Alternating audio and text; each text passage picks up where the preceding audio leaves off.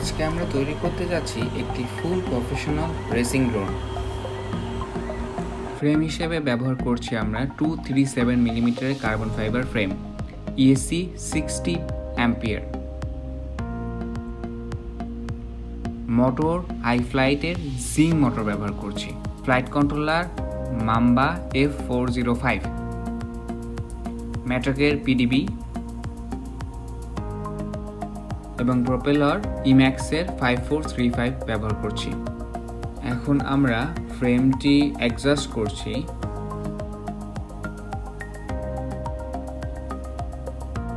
প্রত্যেকটি part by part সুন্দরভাবে, নিখুঁতভাবে লাগাতে হবে।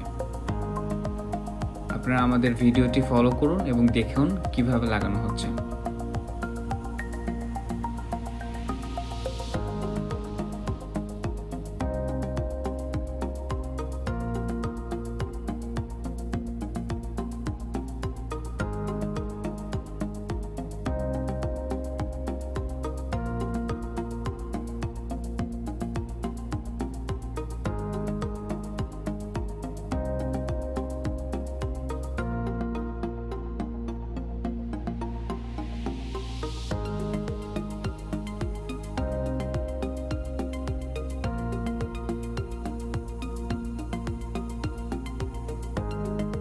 ফ্রেমটি অ্যাসেম্বল করা মোটামুটি কমপ্লিট। এবার আমরা পিডিবি বসানোর জন্য স্ক্রু লাগাচ্ছি। পিডিবিতে বসানো হয়েছে।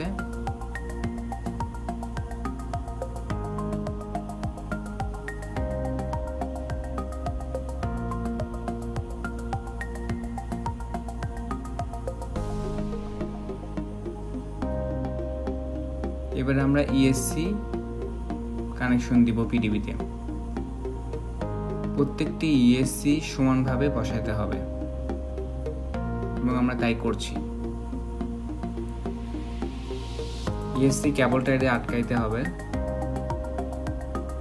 আপনারা কেবলটাই ইউজ করতেও পারেন অথবা আঠাও ইউজ করতে পারেন। ডাবল সাইডের টেপও ইউজ করতে পারেন।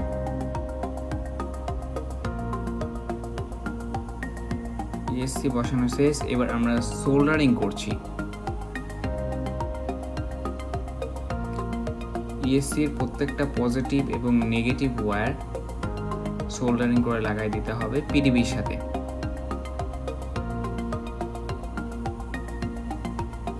আমরা অবশ্যই লক্ষ্য রাখব কখনোই যেন পজিটিভ এবং নেগেটিভ ওয়্যার একত্র না হয়। সেক্ষেত্রে আমরা মাল্টিমিটার দিয়ে শর্ট কোয়ান্টিটি চেক করব।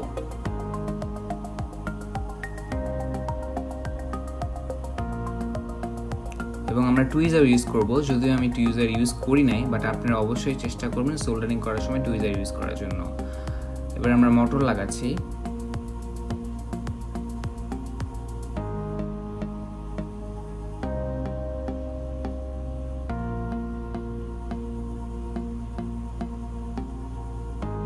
মোটরগুলো আমরা ফার্স্টে লাগাবো। চারটা স্ক্রু কখনো ফুল টাইট দিব না। একটি একটি করে হালকা টাইট দেবো সবগুলো দেন ফাইনালি ফুল টাইট দেবো। এবার আমরা মোটরের এক্সট্রা ওয়্যারগুলো কেটে ফেলব ইএসসির মাপ করে।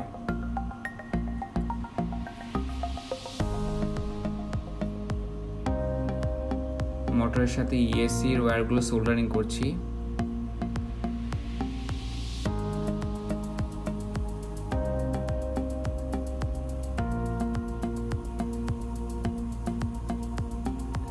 এবার আমরা রিসিভারের পিনগুলো সোল্ডারিং করছি। রিসিভারের সাথে ফ্লাইট কন্ট্রোলার সংযোগের যে পিনটা সেটা সোল্ডারিং করছি। আমরা ফ্লাইট কন্ট্রোলার লাগিয়ে ফেলেছি অলরেডি আমরা আইবাস ইউজ করব। আইবাসের জন্য এসবাস থেকে আইবাসের ফাংশনটা কম্পিউটার থেকে সেট দিতে হবে। ফ্লাইস্কে রিসিভার আমরা ব্যবহার করছি। এবার ইএসসির সিগন্যাল ওয়্যারের কানেকশনগুলো দিয়ে দিচ্ছি ফ্লাইট কন্ট্রোলার থেকে। রিসিভারটি লাগাই ফেললাম কেবলটাই দিয়ে।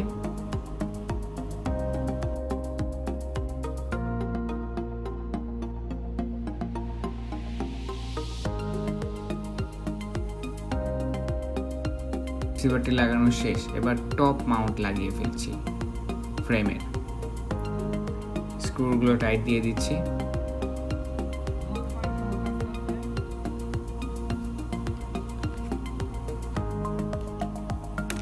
আমাদের দোনটি মোটামুটি কমপ্লিট। প্রপেলার আমরা আগেই লাগিয়ে ফেলেছি। এলইডি লাগিয়েছি সিগন্যাল হিসেবে দেখার জন্য দূর থেকে।